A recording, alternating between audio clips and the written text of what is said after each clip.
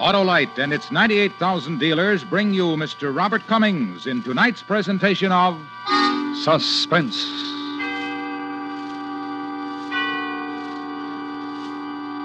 Tonight, Autolite presents a story based on fact the dramatization of one man's deadly way of earning his living.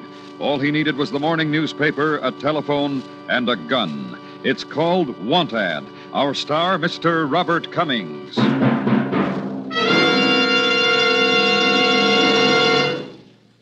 Good evening. This is Harlow Wilcox. You, and I mean every one of you, have the opportunity of a lifetime.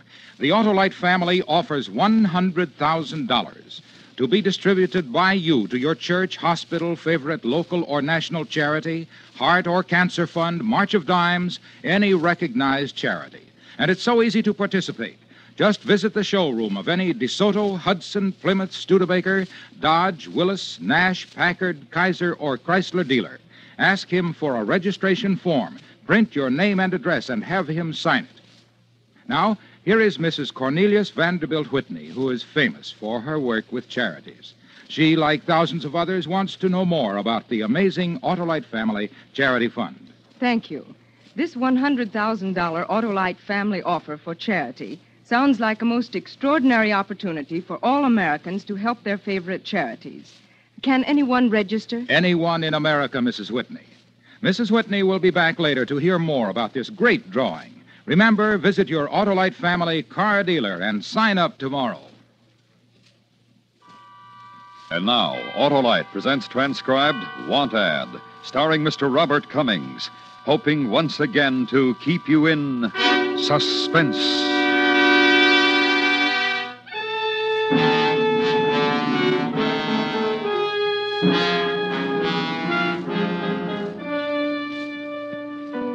See, a guy in my line works alone, more or less.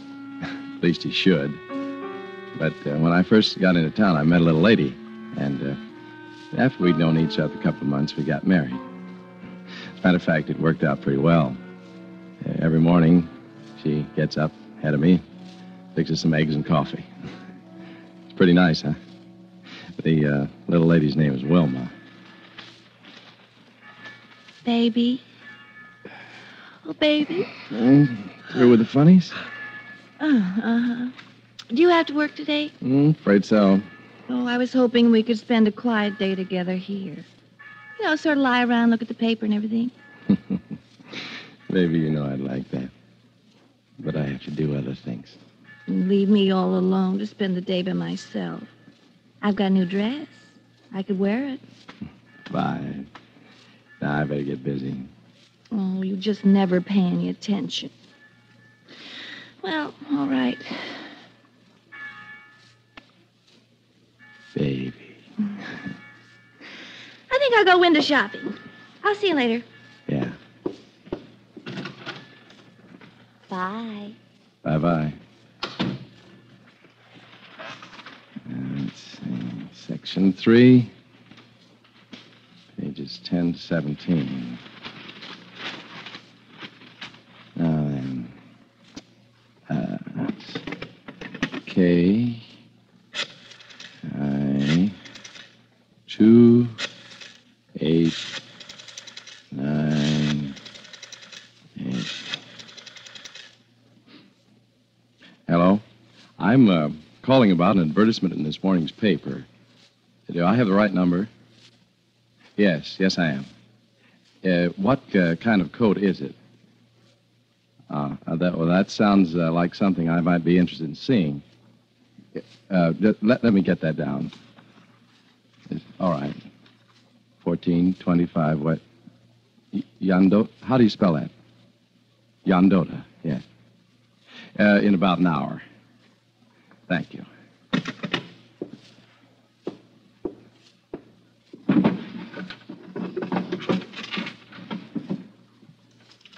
One for the money. Two for the show. Ready.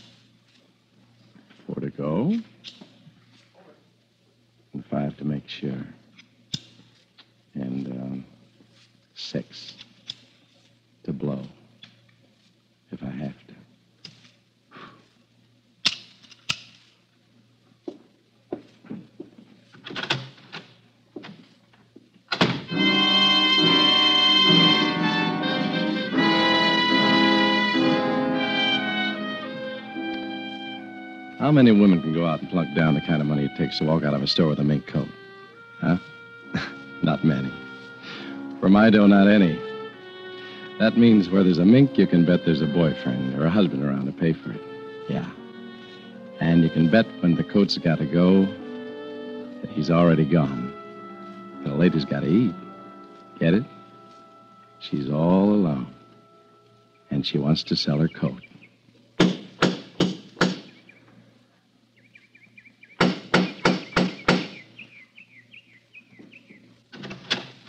Oh, how do you do? Yes? I'm uh, Mr. Vernon. I called about your advertisement in the paper this morning. Oh, yes, Mr. Vernon.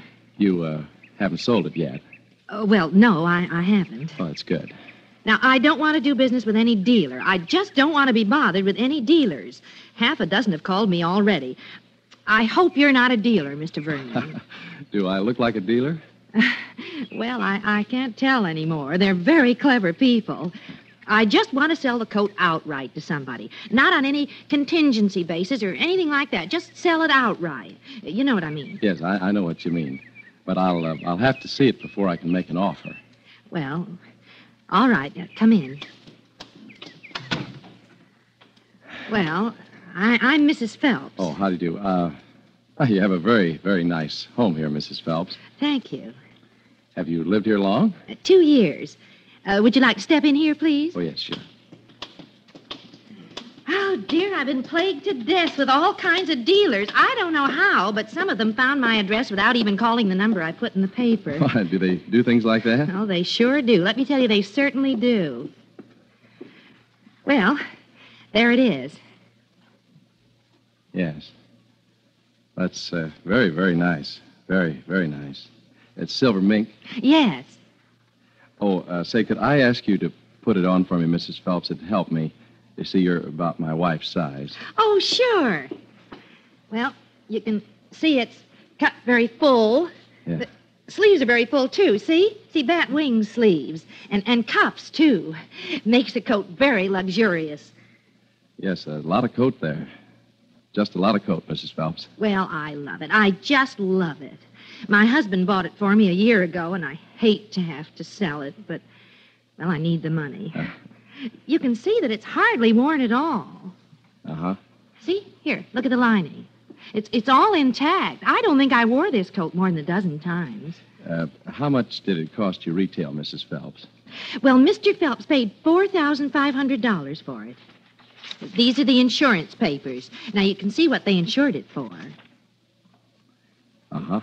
Now, I'll tell you right now, a friend has already offered me $2,800 for it. I wouldn't think of selling it for anyway near that. I- I'd rather keep it. Um, would you uh, think of uh, selling it for 34? 34? Yeah. Well, that's, uh, that's still pretty cheap. Well, I don't have to tell you that a, a coat's a year old, $600 depreciation. That's not bad. I could possibly get the same coat for 38. Well, I, I doubt if you'll get a better offer than 34, Mrs. Phelps. I'm, I'm willing to pay for it right now. hmm. Well, I, I'll have to talk to my husband first. Is uh, he uh, here now? Well, he's not home right now, but he'll be here any minute. Uh, could you come back this afternoon, or, or maybe you could I just. came to buy the coat now. I'm, I'm leaving town this afternoon. I thought you were ready to sell. Well, I. All right, Mr. Vernon. I'll take your offer. Good. But I, I don't know you at all. You understand you'd have to give me a certified check, or, or I'd have to keep the coat until your check cleared the bank. I'll pay cash. I brought the cash with me.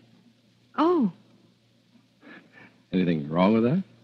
oh, no, no, Mr. Vernon. I, I just didn't expect to sell it so quickly. I still have the box it came in. It's a perfectly lovely box. I'll give you that for nothing. Yes, I, I, would like the box. You know, Mr. Vernon, you, you are getting a bargain, a real bargain in this coat. I tell you, my husband and I looked almost two years before we found a mink that, well, just suited. You know what I mean? Now, you can buy any fur coat, a mink or a sable. I don't care what it is. Thirty days later, you hate the sight of it. But this one, your wife will never get tired of. Look, isn't this a pretty box? Yes, yes, it is.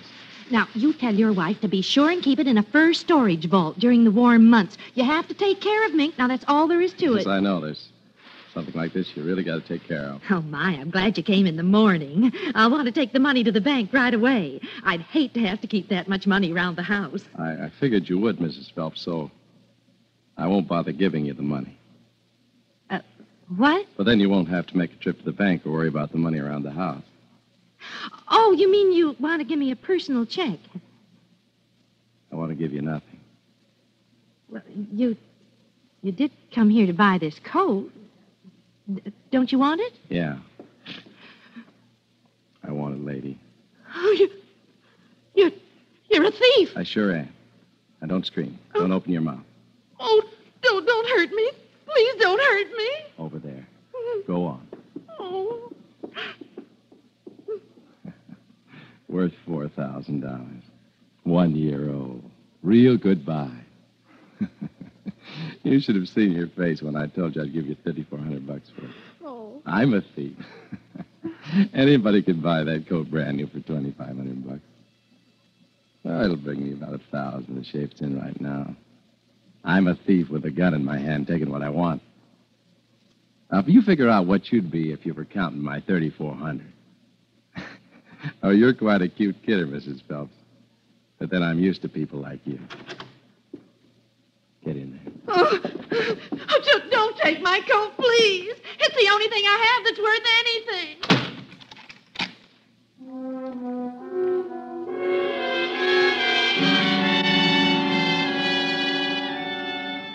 That's how simple it works. I, I've been in the business for a little while now, and I know a few things about it. Of course, you got to watch your step and be ready for anything that happens, like uh, today.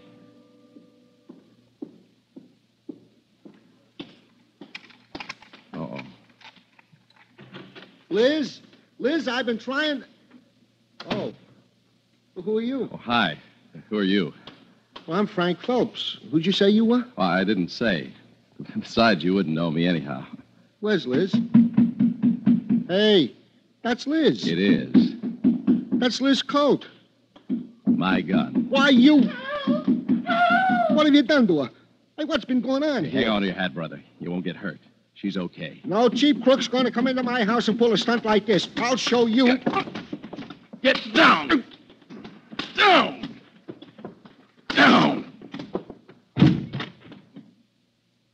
Stay down. Well, oh, well. You people certainly have something to talk about over dinner tonight, won't you? yeah. Something you can talk about, all right.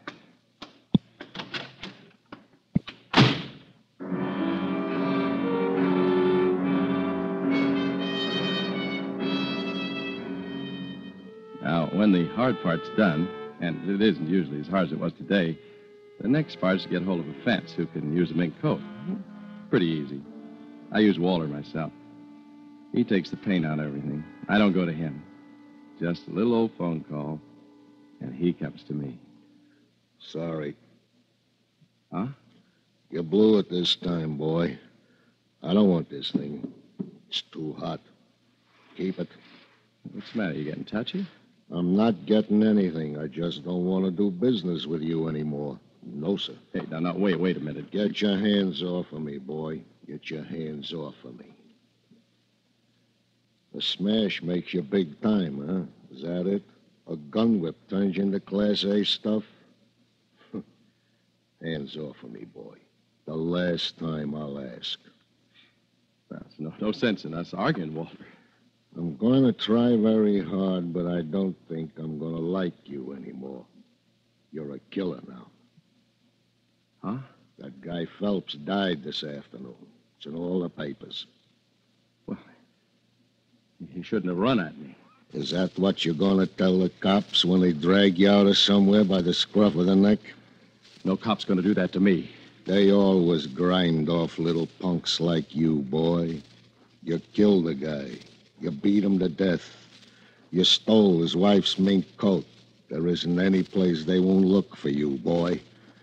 And they know where to look for your kind. They won't stop till they find you. Eh, you're gone, boy. Just plain gone. Only you. Don't know it yet.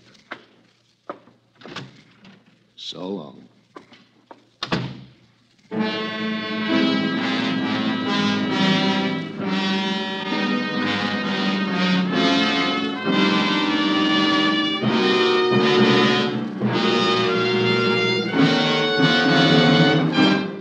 Autolite is bringing you Mr. Robert Cummings in Want Ad, tonight's presentation in radio's outstanding theater of thrills, Suspense.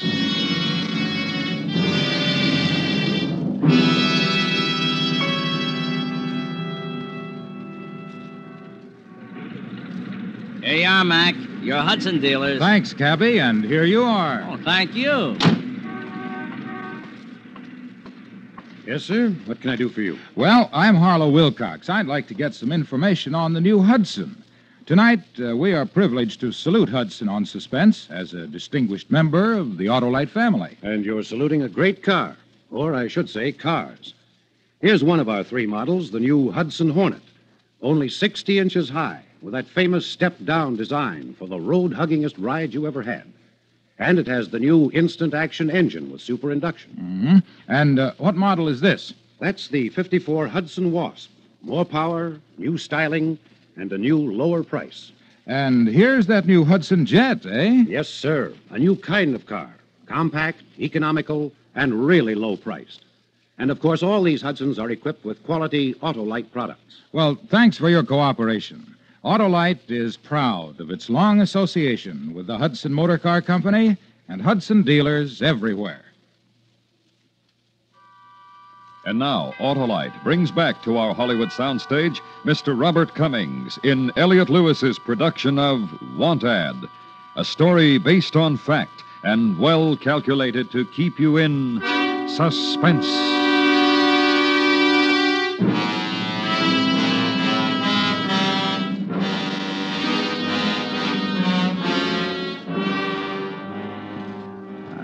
Know maybe a half a dozen fences in town. Only tried two of them after Waller. Those fellows are kind of chicken about some things. they get a little action with a piece of merchandise and they all get scared. Of course, they're all afraid of something or other. Are you thinking, hon? That what you're doing, thinking? Yeah. Yeah, that's what I'm doing. About that man. Didn't he want the coat? No. Mm, such a pretty, pretty coat. Oh, oh, baby, I wish we had a fireplace. I wish we had a big, big fireplace and then we could sit in front of a fire on a rainy night like this and everything. That'd be nice, wouldn't it, baby? Yeah, it sure would. We could drink hot coffee, maybe, listen to music, make fudge. Huh? Uh-huh. You like my new thing? What? This. Isn't it pretty? Oh, yeah. Like a million. Like a whole million bucks. I liked it, so I bought it just like that. You hardly looked. I'll have to leave town. I have to get out of here.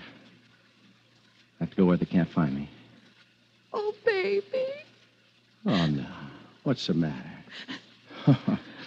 Did I say something? You're going to leave me. You're going away. Oh, now, look, kid, look. I have to go. Don't you understand, Puddin'? I have to leave town. If I don't, they'll get me. They won't get you here. Just stay here with me. I have to go. I have to go. Take me with you. Huh? Let me go with you. We can have some real nice time some other place the same as we did here. Well, I. Yeah, sure. I'll take you. Oh, baby. I take you. Oh, baby, you're so good to me. Ah, no, no. We haven't got time for that. We got to get busy. We have to get a car first. Well, we haven't got any money. Look, how did I get that coat? How'd I get all those coats? Oh, but Ralph, you can't do that anymore.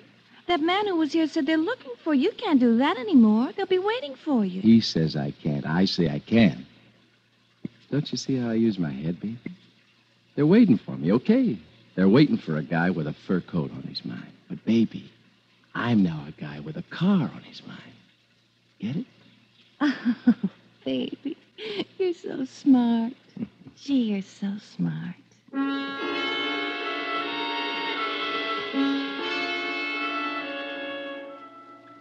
Well, sir, with little old Wilma wiggling around in my arms, I began to go over the new idea with myself. It was pretty good. The next day when the papers came out, I went right to work. Hey, baby, this is the one. Hey, this is the one. Which one is the one? This one, for sale. Like new, late model convertible private party. I just called. Oh, well, what was the matter with the others, baby? I told you, a man answered on the other calls. This time it was a woman who answered. Oh. It's the same thing. A woman trying to sell a car or a coach. She's alone, no one around. Makes it safer. Oh, I see. Do you like my new hat? Yeah, fine. It's a knockout, baby. Knockout. I'll wear it in the car. What kind of car did you say it is? Convertible. Big new convertible. Oh, we'll look swell going down the highway in a big convertible. Maybe we can put the top down. Yeah, we sure can. I told her we'd be right over to look at the car. Hey, you're coming with me. Yeah. It'll look better if you come with me. There won't be any trouble. I mean, the police are looking for you, aren't they? Baby, you let me worry about the police. There won't be any trouble at all. Just keep your new hat on. Come with me, baby. All right. I'll dress all up.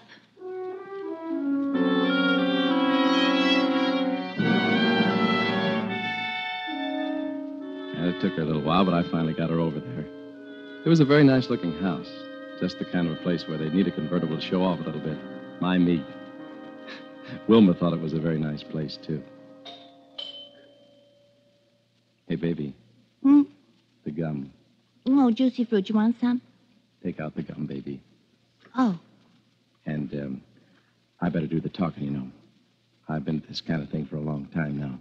Yeah, well, you know best. Do I look all right? Yes, well. Hello? Oh, hello. I- I'm the man about the car. Oh, yes. I'm Mr. Watson. This is Mrs. Watson. Oh, well, come in, please. Well, we'd uh, like to see the car if we could. We're in kind of a hurry. Well, the car's in the garage in the back. It's just easier to come through the house. Well, all right. This way. Yeah, there's something funny about this. What? If she had a car for sale, she'd have it sitting in the driveway or out front. Not hidden in the garage. After the rain last night, I thought it best to keep it in the garage. I wanted it to look nice to show today. Ah, silly. Come on. I bet you two are newly married. Oh, no, we. Yeah, we, we've been married for some time now. you just look like newlyweds somehow. this way.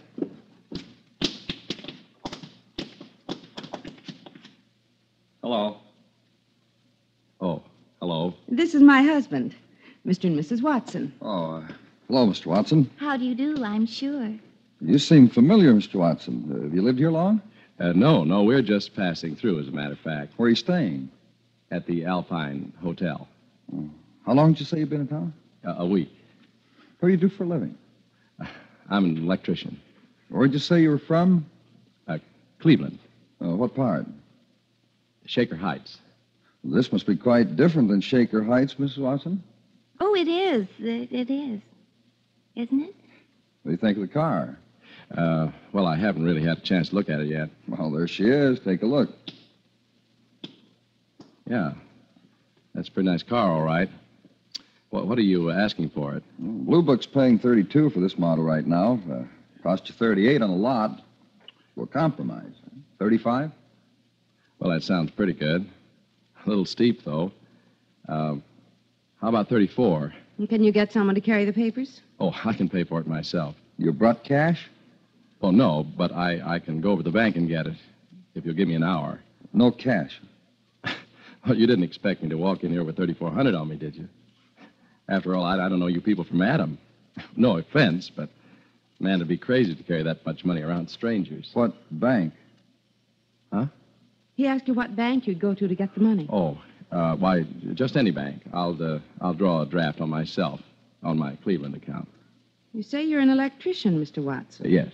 Is your name really Watson? What? Don't you usually look for fur coats? What? What's your real name? Huh? Your real name, what is it? Baby. Shut up. Let her talk. Say, I, I came over here to buy a car. What is this? There's the car. Buy it. I'd like to try it out first. Baby, will you shut up? Will you please shut up? You have some identification? Identification? Uh, Baby, will you shut up? Just shut up. What's the matter with your wife? I don't know. I, I don't know. We thought you might be needing a car. Huh? I said we thought you might be needing a car to take a trip in. I don't know what you're talking about. You know a man named Phelps, Frank Phelps? 1425 West Yondota Street. Uh, well, I, I told you I knew here. I, I don't know any town at all. I, I don't know any Frank Phelps. Baby. Frank Phelps was killed yesterday. Man went in his house, stole a mink coat from his wife, then used his gun on Frank Phelps when he came home unexpectedly. He beat him to death, Watson. He stood there and beat him to death. Well, I, I, I don't know any Frank Phelps. I think you do. No, I don't, I tell you. I, I don't. Do I, baby? No, honest, he doesn't. Neither do I. Mrs. Watson, Yes, you know we're police officers, don't you? yes, I want to ask you one question. yes. Why are you wearing Mrs. Phelps' mink coat? What? Well, I didn't think you'd mind. You never pay any attention to the things I wear. You just never pay any attention at all. Oh, baby. Baby, Huh? let's go.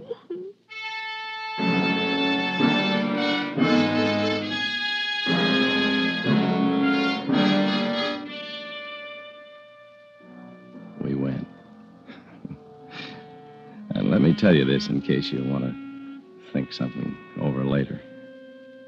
Always work alone. Always.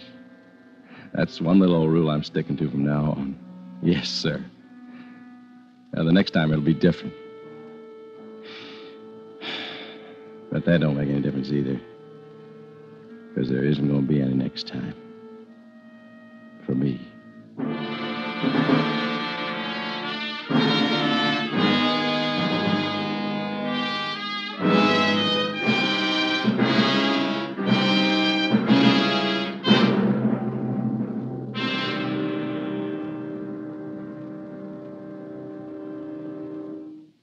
Suspense.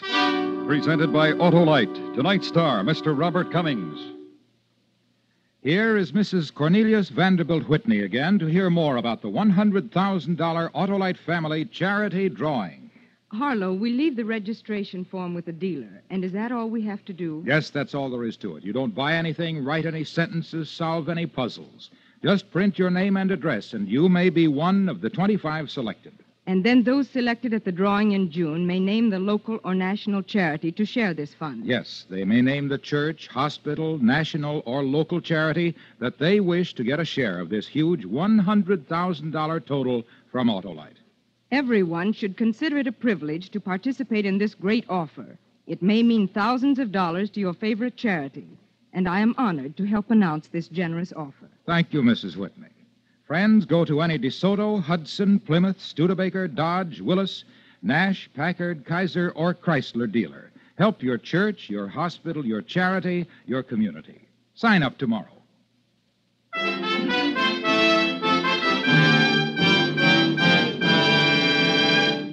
Next week, a lady with a big voice and lots of good humor meets a man with a soft voice and a very sharp knife.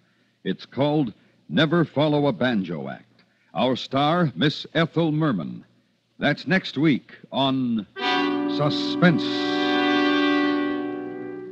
Suspense is transcribed and directed by Elliot Lewis, with music composed by Lucien Moraweck and conducted by Lud Gluskin. Want Ad was written for Suspense by E. Jack Neuman. Featured in tonight's cast were Mary Jane Croft, Virginia Gregg, Paula Winslow, Larry Thor, and Charles Calvert. Robert Cummings will soon be seen starring in Alfred Hitchcock's Dial M for Murder, a Warner Brothers Color 3D. And remember next week, Miss Ethel Merman in Never Follow a Banjo Act. This is the CBS Radio Network.